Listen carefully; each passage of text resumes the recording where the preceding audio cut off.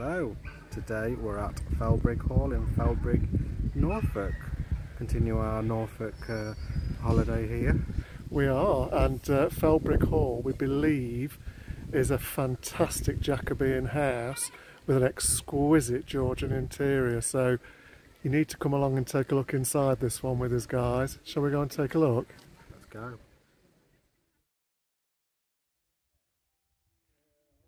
Built by John Wyndham, Felbrigg Hall is a 17th century English country house. The unaltered Jacobean house is noted for its fine architecture and for its even finer Georgian interior. The last owner of the house was Robert Wyndham Ketton Cremer, who gave the house and its contents to the National Trust in 1969.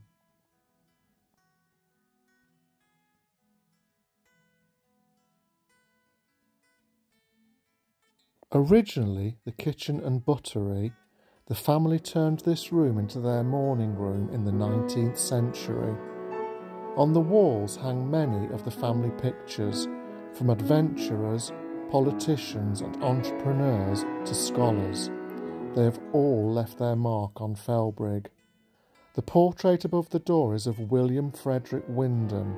He enjoyed dressing up in uniform in addition to posing as a London policeman, William often impersonated a train guard whose unauthorised whistle blasts caused confusion on the platforms.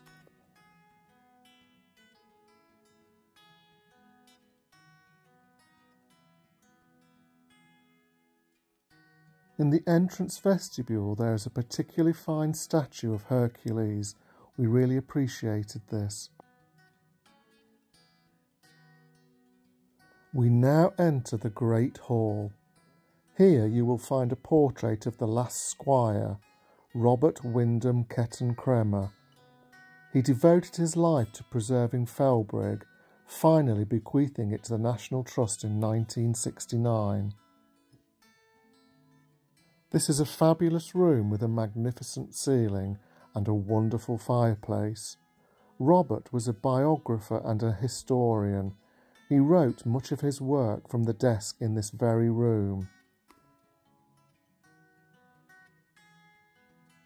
Here you will find a photograph of his brother and heir, Richard, who tragically died in action during the Second World War.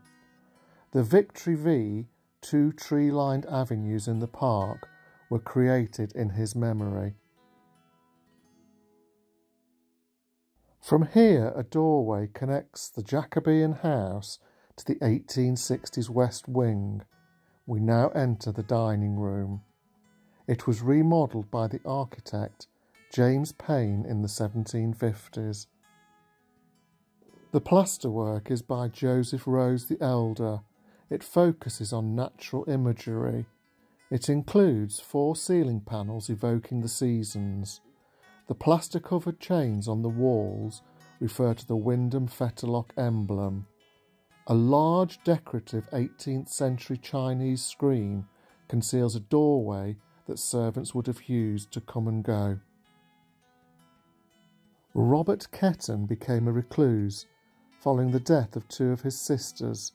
He allowed the estate to fall into disrepair. His heirs had to sell a number of treasures to reverse this decline. One of the paintings that was sold was the Battle of Texel by Van de Velde the Elder. This is now back on loan to the house. In this room you will also see a teapot. It is a gift that was given by Queen Mary. We now enter a sumptuous room known as the cabinet, formerly the drawing room where the family would withdraw to after meals. It was remodelled in the 1750s to house the pictures that William Wyndham II brought back from his grand tour. It was the fashion for rich young Englishmen to finish their education by touring the continent. William returned from Rome weighed down with books and paintings. Our tour continues in the stone corridor and stair hall. Here you will find a portrait of Agnes Willoughby. she married William Frederick Wyndham for his money in 1861. Worried for the family name and fortune, his uncle, General Sir Charles Wyndham, tried to declare him a lunatic. A lengthy court case ensued, and the verdict declared William to be sound of mind.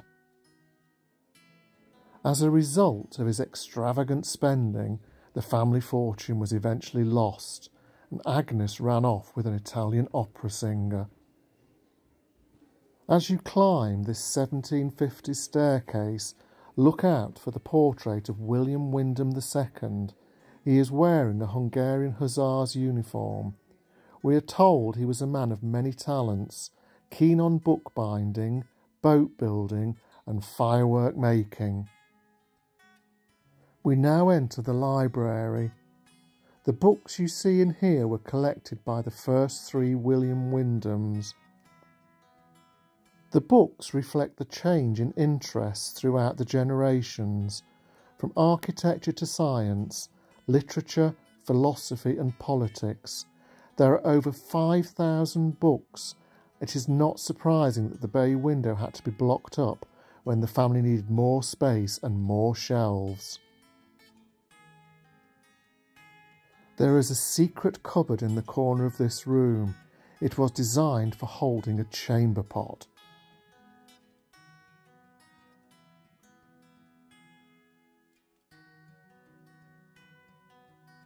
We now view a series of bedrooms. The first is the yellow bedroom. It was repainted as recently as the 1970s to recreate the last squire's mother's bedroom. The rose bedroom has had its colours revived with the replacement of the rose chintz fabric which had unfortunately been severely light damaged. This room is a quintessential English country house bedroom.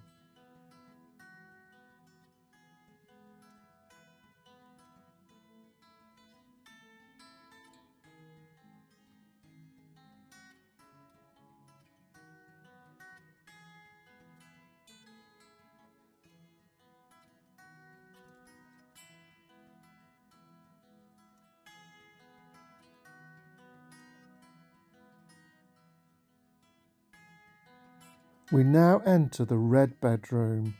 This room remains as it was in the mid 19th century. It is a little faded as the buff stripes were once a candy pink.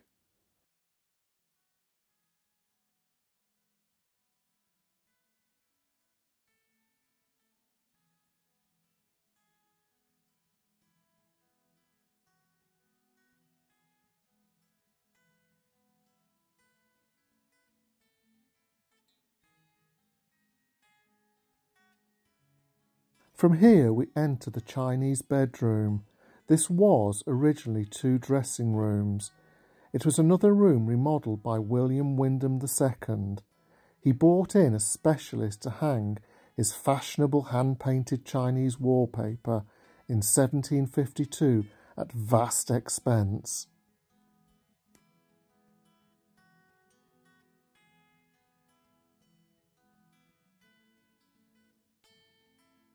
As we leave the Chinese bedroom, we enter the west corridor. This was added in the 1750s to provide access to the bedrooms. Here you will find the first bathroom to be added to the house. It was for the last squire's mother, as she would not move in without one. On display in the kitchen is equipment that would have been used by generations of cooks right up until 1965 when the last squire died. The kitchen houses a gleaming collection of copper pots and a stewing stove. Little has changed since it was created in the early 18th century.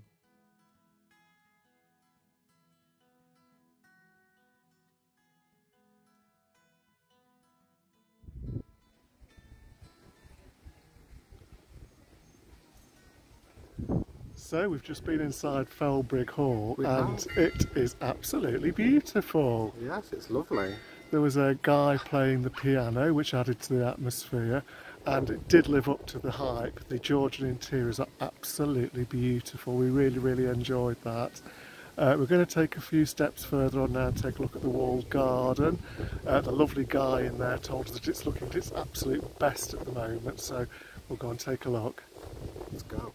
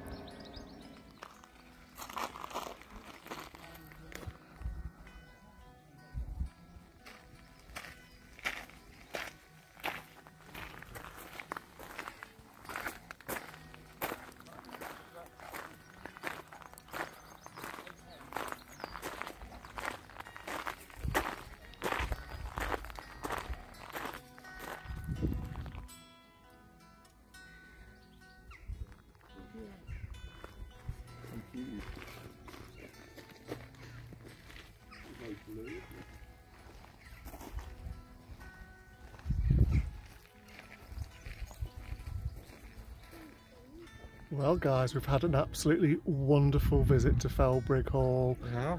Uh, we've rounded it off by looking at the walled garden, which is really special. Uh, it's one of the nicest walled gardens we've ever seen.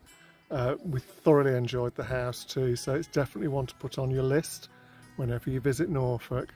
Yeah. So we hope the video finds you well. We hope you're all uh, having a good time at the moment and we hope you enjoyed this video with us. Give us a like. Please do. Subscribe and ring that bell. Ring that bell. Thanks guys, we'll see you next time. Bye.